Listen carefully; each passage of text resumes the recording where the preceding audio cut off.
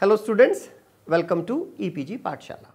In previous modules, you have studied that what is biodiversity, what are different types of biodiversity. You have also studied the value of biodiversity and we also know one thing that uh, biodiversity is under constant threat and there is significant loss of biodiversity in the recent decades and there is a urgent need for the conservation and management of biodiversity.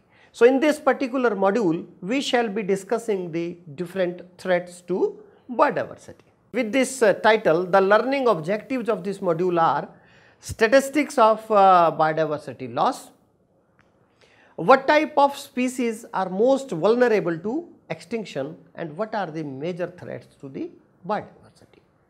Variability in the species composition of plants, animals and microorganism on earth is imperative for the sustenance of healthy, balanced and thriving ecosystem. Rise in human population with consumption levels and a chain of unnatural anthropogenic activities are disturbing the biodiversity components, ecosystem integrity and sustainable use of ecosystem services. Let me have a look on the statistics of the biodiversity loss. A WWF report suggests that 52 percent of the world biodiversity that is including terrestrial biodiversity, freshwater biodiversity and marine biodiversity has been lost in the 40 years span between 1970 to 2010. Freshwater biodiversity being affected most. There are certain reports from the IUCN and a report from IUCN stated that percent of threatened or lost biodiversity as around the globe 75 percent of genetic diversity of agriculture crops is lost, 75 percent of the fisheries stock lost, one third of the reef building corals lost, floral species categorized as threatened with extinction, about 50 percent of the amphibians are lost, 25 percent of the mammals, 19 percent of the reptiles among the faunal species which are lost. 71 percent of the Mongolian, 63 percent of the cycads and 34 percent of the conifers are lost. Current rate of species extinction is 1000 to 10,000 times than that of few billion year ago. Which what, what this statistics tells that biodiversity loss is taking place at very fast rate and in the recent years the pace of biodiversity loss has increased as we compare to the past. This flow chart gives the direct and indirect drivers resulting in the biodiversity loss. Let me come to the direct drivers. Among the direct drivers of change are climate change, nutrient loading, land use change, new species introduction and over exploitation. And because of these factors ultimately this affect the ecosystem functions. Ecosystem functions you will be studying in the paper 1. Then indirect drivers of the change are demography, economics, socio-political reasons, science and technology, culture and religious reasons are there and these uh, indirect reasons are due to mainly due to human well-being as well as use of or exploitation of biodiversity to get the goods from uh, biodiversity particularly for health, security, good social relations, freedom of choice and action. So, these indirect and direct drivers are responsible that result into the loss of biodiversity. A question arises that what type of species are most vulnerable to extinction. Rare species as listed by IUCN, species with the restricted geographical range such as the organisms dwelling on the island ecosystem, species occurring at the sites of high human disturbance or exploitation, species with large or specialized or stable habitat requirements, species with slow reproduction rate, plants with ineffective dispersal ability, species being heavily predated, seasonal migrants, species with less genetic variability, species with no prior contact with humans, species closely related to the extinct or threatened species. This type of species are more vulnerable and their extinction can take place at a faster rate. Let me discuss the major threats to the biodiversity. There are several threats to the biodiversity and these threats include, I am going to talk about major threats only, habitat loss or habitat degradation or habitat fragmentation. Then introduction of invasive species, then environmental pollution, then human population and over exploitation of the natural resources or biodiversity and climate change. These are the major changes of biodiversity loss and we will be discussing them one by one. Let me come to the first and foremost reason that is habitat loss, habitat degradation or fragmentation. The main factor driving biodiversity loss is incurred by human induced land use changes. Human interfere in the natural self-sustaining ecosystems have shrunk the habitats of different plant and animal species and limited the supply of resources that is essential for their survival. Major activities responsible for turning a habitat unsuitable for the local species include urbanization, expansion of agricultural lands, industrialization, deforestation, mining activities, damming means construction of dams and dredging of rivers and draining of wetlands, estuaries and mangroves. So, these are the major activities which turn a habitat into unsuitable for local species. Now, let me come to terrestrial ecosystems. Forest ecosystems bear a major portion of the world's terrestrial biodiversity that provides innumerable ecosystem services and play a critical role in the operation of global biogeochemical cycles. The role of uh, ecosystem means the services provided by the ecosystem you will study in, uh, in paper 1 in module number 1, 2 and 3. Tropical rainforests are known to withhold the highest percentage of the world's flora and fauna. Let me come to deforestation. Deforestation is one of the direct causes of species extinction in the terrestrial ecosystem. The different attributes of the deforestation include expansion of agricultural fields, expansion of residential areas and then industries. For obtaining fuel, fodder, furniture, raw materials for paper and pulp industry, medicinal uh, plants and precious herbs, habitat fragmentation is splitting of large units of habitat into smaller parts.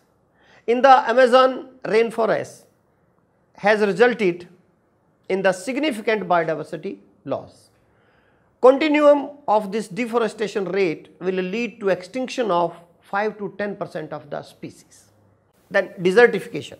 Desertification is another major reason of habitat loss driven by the similar reason, reasons as that for deforestation such as extension of agricultural processes, urbanization, industrialization and over exploitation. Poor land management further provoked by global warming and climate change has degraded the organic content of the soil, fertility and water retaining abilities of the soil, converting them into deserts that left the local plant and animal species homeless. About 25 to 40 percent decline in soil organic matter has been observed over the past 25 years. Let me have a look on marine ecosystem. Oceans are considered as the largest ecosystem because 70% of the earth is covered by the oceans and seas. Oceans regulate the global climate, biogeochemical cycles, a high percentage of world's food production and various other economic aspects.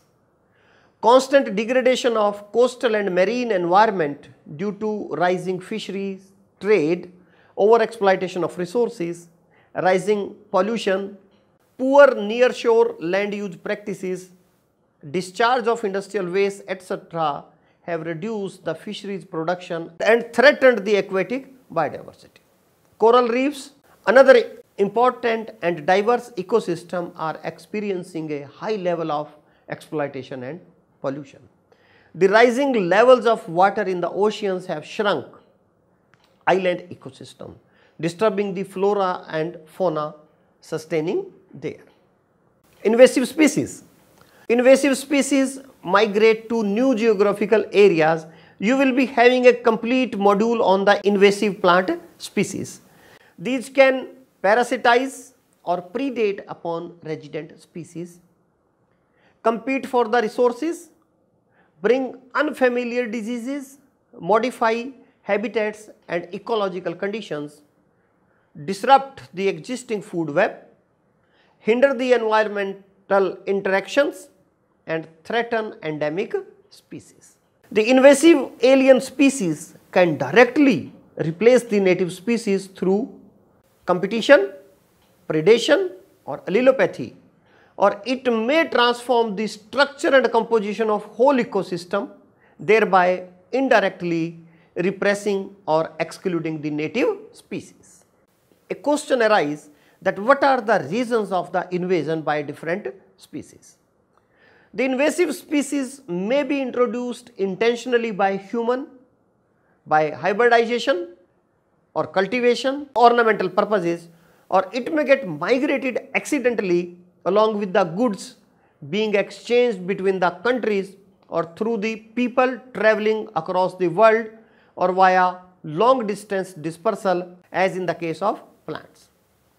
In marine ecosystem, introduction of alien species can result from hull fouling, ballast water from ships or through aquaculture and aquarium releases. Nearly 300 species of crustaceans, mollusks and fishes have entered the Mediterranean Sea from the Red Sea through the Suez Canal since 1891 that have now dominated over the native species. In the Fynbos biome of South Africa, 80 percent of the threatened species are endangered because of invading alien species. Dear students, invasive alien species are a big problem. I give you one assignment. Please pen down different alien species, common one which have entered in the India and also try to find out or write down the reason that how they have affected the Indian native flora and fauna. Or pollution is another major threat to the biodiversity. Different pollutants entering our environment via release of excessive amount of nitrates, phosphates from agricultural runoff, emission of greenhouse gases through deforestation and burning of fossil fuels, dumping of sewage into the water bodies etc. have severely influenced the natural ecosystems of the earth. Pollution may not be directly responsible for extinction, but it disrupts the habitat conditions of an organism. Persistent organic pollutants called as POPs, drugs, fertilizers, herbicides, pesticides, acid rain, heavy metals, plastics etc can cause environmental toxicity and it is difficult for the organism to reside in the modified surrounding. They are either forced to migrate or to adjust this new environment that has been over there due to the introduction of these pollutants. As a result, the species that could not cope with the changing environment, they generally die out and ultimately that leads to biodiversity loss. Let we have some examples of pollution affecting biodiversity. Acid rain, you know about acid rain. Acid rain can alter the pH of the soil and water bodies thereby affecting the feeding options, breeding conditions and species composition of the local species. Poisonous gases present in the atmosphere may cause allergies, respiratory problems and fatal diseases in many species. Nitrates and phosphates that are released from the fertilizer runoff used in our agricultural fields into the water system, they can cause non-habitable zones for the freshwater animals and plants known as dead zones. Plastics, oil and waste dispersed in the rivers, lakes and ocean make it difficult for the fishes and seabirds to survive. Similarly, bioaccumulation is another example which the top carnivores suffer high toxicity due to the multiplication of heavy metal concentration through the food chain as seen in the killer whales. Dear student, please have a look on the bioaccumulation how you will find that how pollutants are concentrated with each trophic level. Human population and over-exploitation of the biodiversity is another major cause of the biodiversity loss. Excessive demand of resources by increasing population accomplished with unhealthy practices such as poaching, targeted hunting, overfishing and over-harvesting that has led to killing of numerous species over the past few decades directly to great loss of biodiversity. According to IUCN, overfishing has reduced commercial fish stocks by 90 percent in the last few years. Overhunting and poaching of the top predators of the food chain resulted in the disruption of the entire food web. The megafauna extinction caused due to overharvesting is one such major example. Next cause of biodiversity loss is climate change. Climate decides the disruption of species across the globe, thus influencing the composition of flora and fauna. Disturbed weather situations may result in behavioral changes in the pollinators, pests and pathogens, thereby disturbing the delicate balance that exists in the wild. Rising ocean temperatures and diminishing Arctic sea ice can shift vegetation zones, significantly affecting the marine biodiversity. Climate change may also promote distribution and abundance of invasive species. Small and fragmented ecosystems such as islands, coral reefs, mangroves, swamps and coastal wetlands are more vulnerable to the changes in temperature as compared to the large ecosystem. Some other factors that could be held responsible for wiping out any taxon include epidemics, warfare and UV radiation on earth due to depletion of ozone layer. This depletion of ozone layer is considered as a primary threat to the amphibians. Dear students, I will suggest you make a list of the some animals which existed here 40, 50 or 100 years back and now they are extinct. Let me give you one example or one name that is dodo. You know dodo is a bird that used to uh, live on the Mauritian island but now that is extinct and we today even today we just have presumptions that what was the size of this animal and how it looked like but we really do not have even a picture of this animal. So, please find out the names of the uh, some of the flora and fauna which existed in past but now extinct and also try to find out the causes of their extinction. Dear students, in this table the threats to biodiversity in terrestrial ecosystem are given. The major threat as we have discussed is habitat degradation and fragmentation and the underlying causes for this are deforestation, urbanization, industrialization, expansion of agricultural lands and extension of road network, invasion of wild areas for recreation and tourism. The another threat in the terrestrial ecosystems is dynamic relationship between agriculture and wildlife. So, modernization of agricultural practices and disappearance of natural hosts of wildlife such as hedges, trees, ponds. Over there lot of biodiversity used to exist when these will not be there that biodiversity will not be existing over there.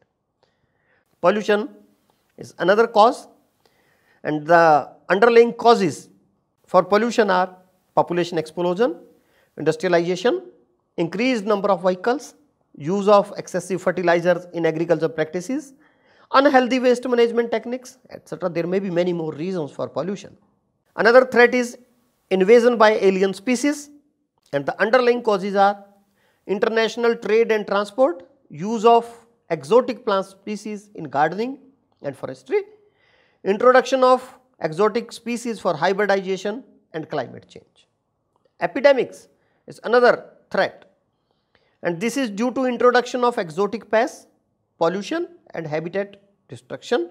Then climate change, you know climate change is due to emission of greenhouse gases, deforestation and other land use changes due to human activities. Then desiccation of soil and wetland is another threat to the biodiversity and this is mainly due to overuse or excessive use or over exploitation of the groundwater tables. In this table, threats in marine ecosystem and their underlying causes are given. Let me discuss them and have a look on them one by one. The major threats to the biodiversity in marine and freshwater system ecosystems include overfishing and underlying causes are rising human population, increased demand in industrial sector, lack of strict laws and bycatch species. Then pollution and eutrophication are the another causes. Industrial pollutants dump into water bodies, runoff from agricultural fields, sewage disposal in river and lakes are the main underlying causes of pollution and eutrophication. Then degradation of the sea floor is another reason of biodiversity loss in the marine ecosystems and that is because of beam trawling, dredging, sand and gravel extraction. Then here also another reason is invasion by alien species and the reasons are almost same tourism and maritime trade, fouling, navigation for recreation, mariculture and climate change.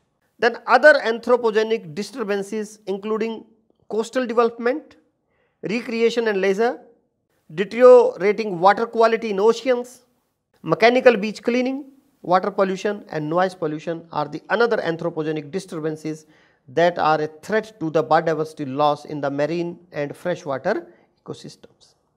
Dear students, to summarize this module, in this module we have learnt about different factors that are responsible for the biodiversity loss or that are a threat to the biodiversity. We have also learnt that these different factors are interlinked to each other and they generally promote each other.